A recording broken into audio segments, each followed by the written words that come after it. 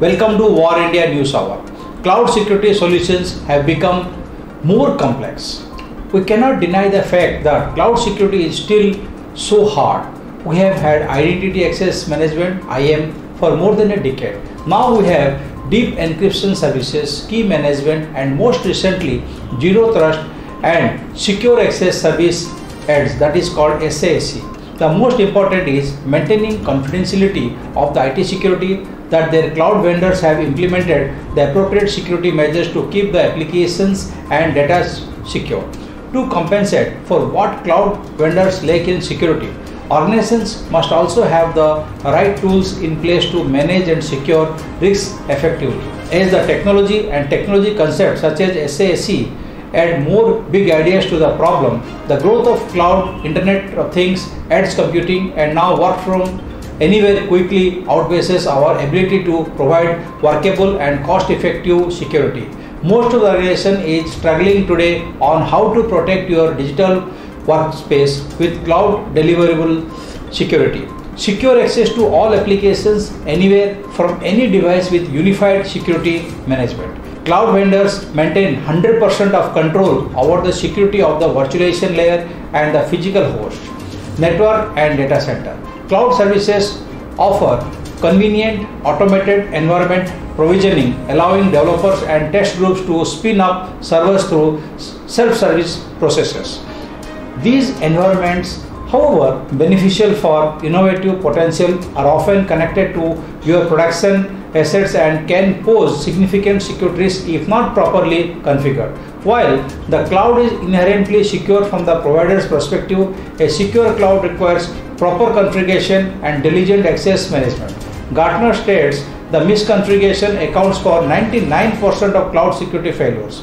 For would-be hackers, cloud development and testing environment that are set up without enforcing proper security policies can become a gateway into your production systems and proprietary code storage. Let's look into today's headline in VARINDIA. Need to refresh Information Technology Act, says Ajay Sawhney. Ajay Sawhney, Secretary, Minister of Electronics and Information Technology, was speaking at a seminar organized by the Public Affairs Foundations of India. The world has changed considerably in the last few years, making it necessary to refresh the IT Act.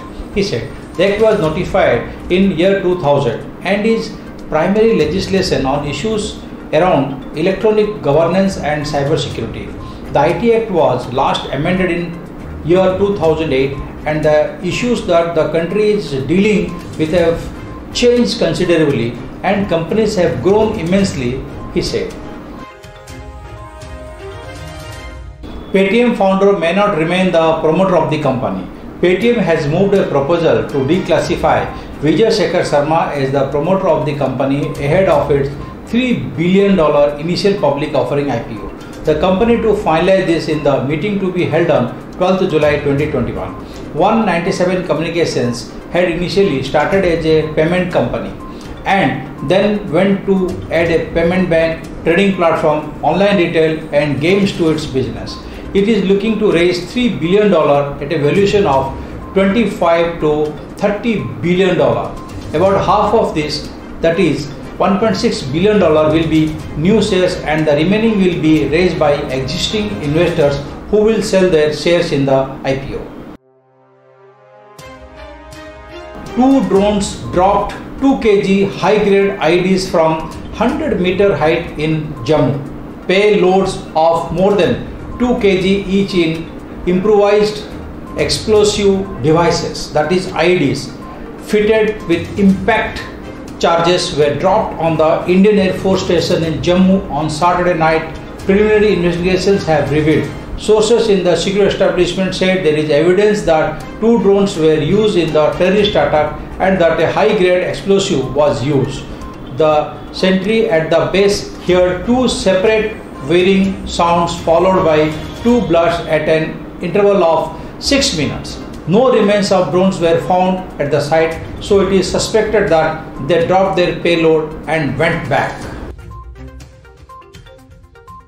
Windows 11 will officially require newer CPUs. Windows 11 is projected to launch during the holiday seasons or early next year.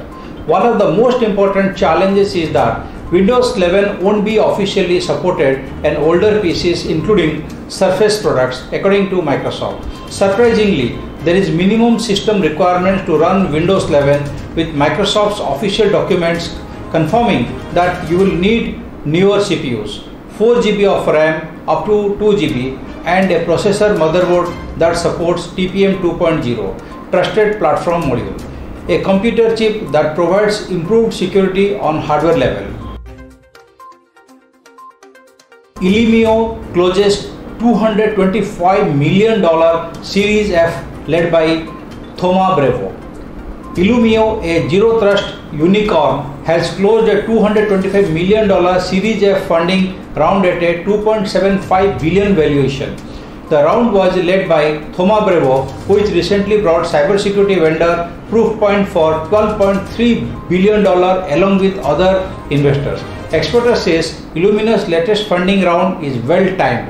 There is huge rise in successful cyber attacks that so some of the more traditional cybersecurity measures are no longer working from the SolarWinds hack in early 2020 to the more recent attack on Colonial Pipeline. And it also comes just weeks after President Joe Biden issued an executive order pushing federal agencies to implement significant cybersecurity initiatives, including a zero trust architecture. That's all for now. Please like, share, comment and subscribe to VARINDIA News Magazine. You can download the VARINDIA from Google Play Store for the latest news and updates. Stay tuned. Thank you so very much.